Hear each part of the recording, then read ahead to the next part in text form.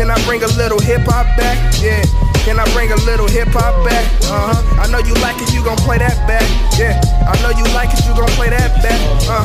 Can I bring a little hip hop back? Yeah. Can I bring a little hip hop back? Uh. I know you like it, you gon' play that back. I know you like it, you gon' play that back. Yeah.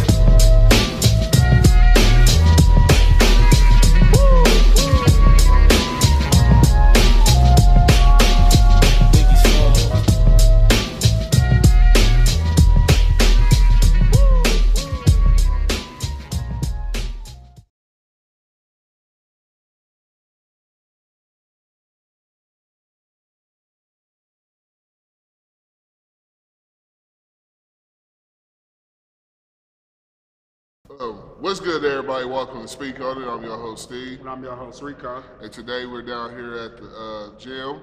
We're interviewing Coach, aka Noris, um, for the Golden Gloves movie. Uh, tell us something about yourself. Uh, how'd you start uh, boxing?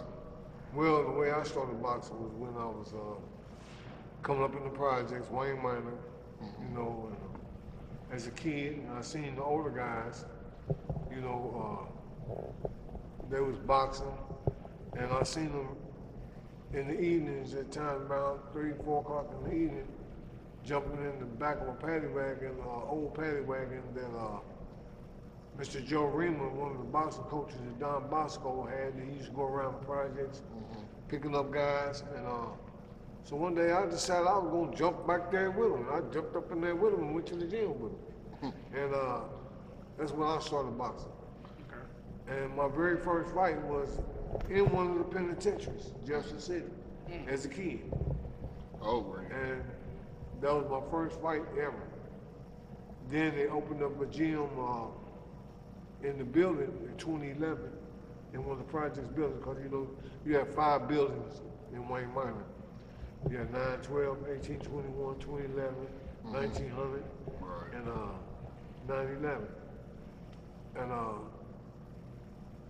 I started going down there with some uh, other guys that was uh, boxing uh, projects, and and that's how my career started off as a kid. How old was you? Then I was I was eight years old at the time. Then uh, as I went on, I started doing things I know I didn't have no business doing. Started smoking, and you know, and found out that didn't do me no good.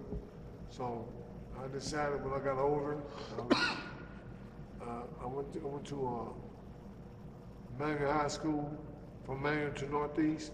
Then I decided I was gonna go to the service. I went to the service. So you from Kansas City? 1977. Kansas City is my home. Okay. And uh, I started boxing in the military. Okay. Uh, went to Fort Lewis, Washington.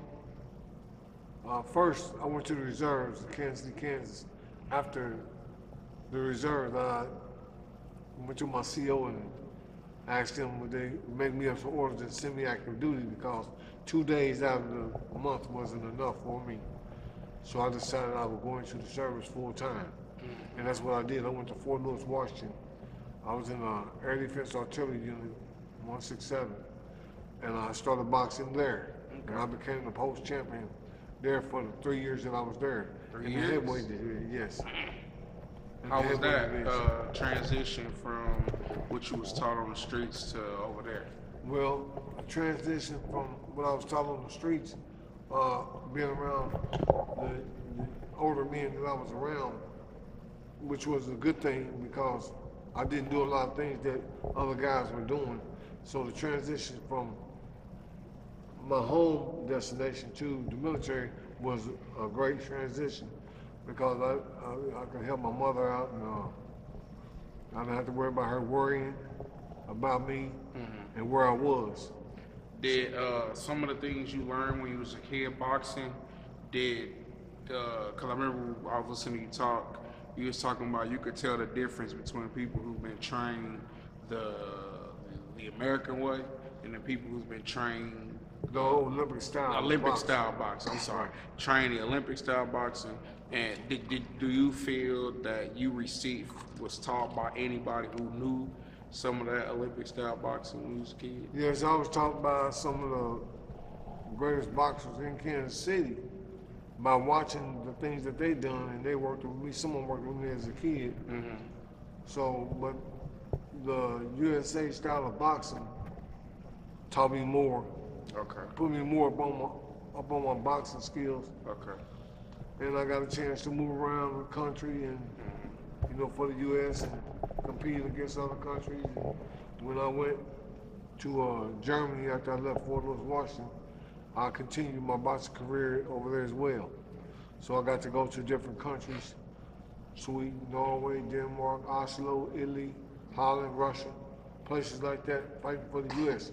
Which, And- which, which one of those places was the hardest for you to fight in? Well, uh, I didn't consider uh, any of my fights being hard because I felt that I was trained to the percentage to where I would have not a problem with any of my fights. Because I train hard, I work hard, and I train to win. right. And Spoken like a true champion. that's the way I was taught, and that's the way I always be. Now, how, long? You, how, how long you been boxing? How long did you I've been end up boxing since I was eight years old. All the way 51 to, years. To 50. Ooh, it's a long time. I heard 59, people. I'm about to turn 60. How many uh, different uh, fight styles have you learned? Well, there's many different fight styles, but I always have my own. You? I think of uh, different types of ways to beat my opponent. You know, if I decide I want to drop my hands, or I want to go back to the fundamentals of boxing that I was taught, or I want to spin off and let them, you know, I kind of let them uh, come to me, and I fight my fight and not their fight. So I spin off. I may go to them at time. I spin off. I come with a two or three. Kind of like a Floyd Mayweather. That's the way I work my combination. Do you, uh, is, is boxing the only thing you do? Do you do anything else? Say that again. Is boxing the only thing you do? Do you do like judo? No, I work on houses. I do other I'm talking different about types. is like fighting. fighting Do you wise. like, do you do any other type of Did you ever take arts? like yeah martial arts, mixed martial arts? None of that, just no pure mixed boxing. martial arts, only boxing. Okay, okay. Um, Boxing is the only thing I've done. But as in your professions, what else do you do?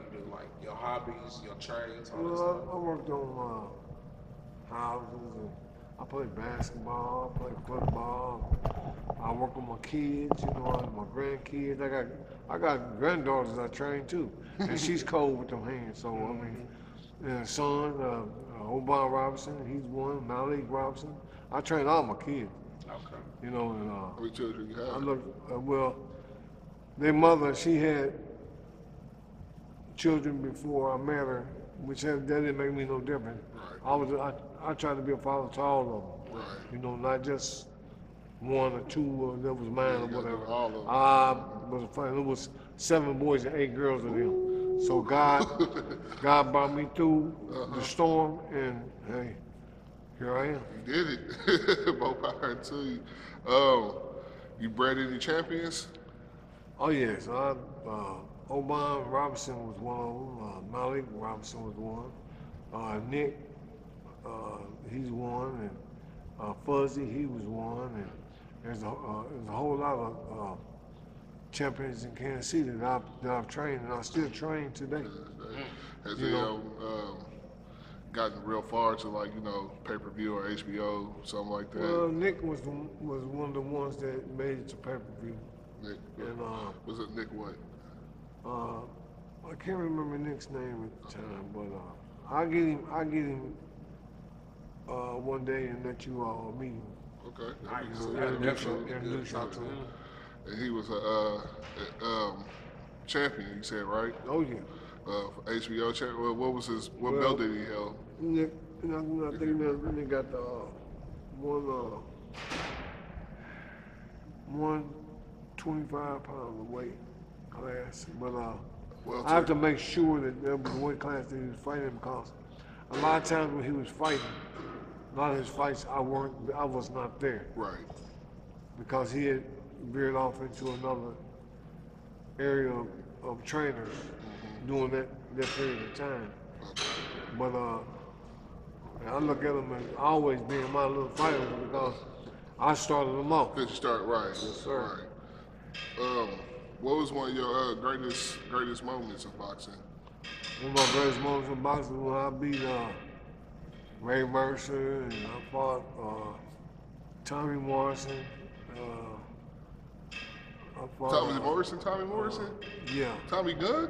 yeah, oh yeah. What?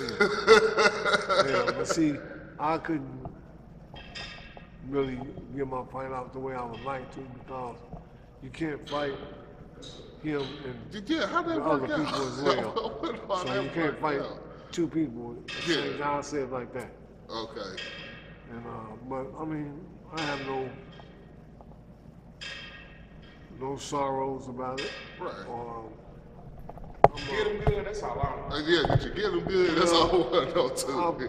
I, like I said, I couldn't fight him and the referee too. Ah, okay. I got I you. got I got mine off You got the your best I could. Uh huh.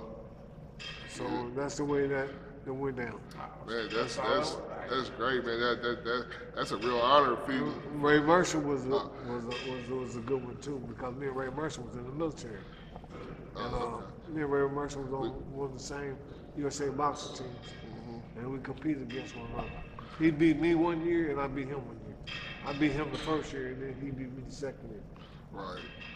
Um, another question. We're gonna move forward. Uh, the movie. Uh, you play. Well, can you tell us a little bit about your role in the movie for the Golden Gloves movie?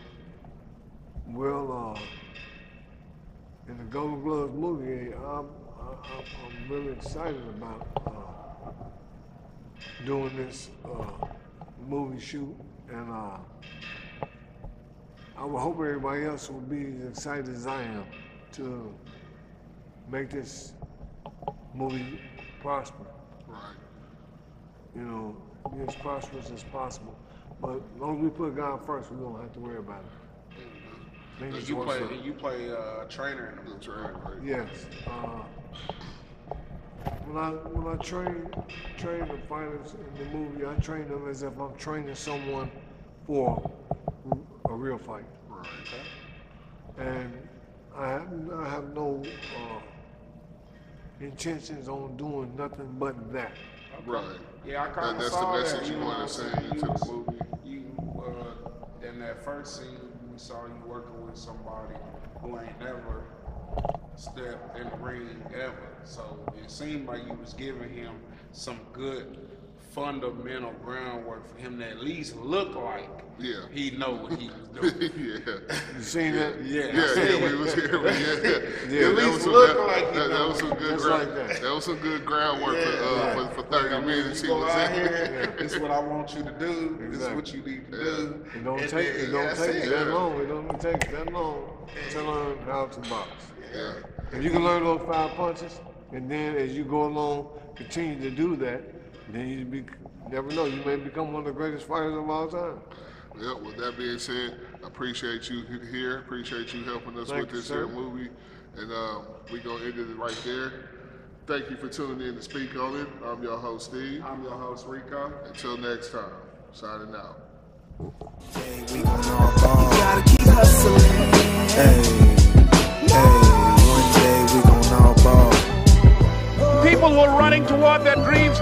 A special kind of meaning. You are going to incur, incur a lot of disappointment, a lot of failure. But in the process of doing that, what you will realize is that you have greatness within you. What's good, YouTubers? You can check out my page by typing in Blue Line Studios, subscribing over here, hitting my link. Check out Speak On It with interviews, local business owners. Scroll over.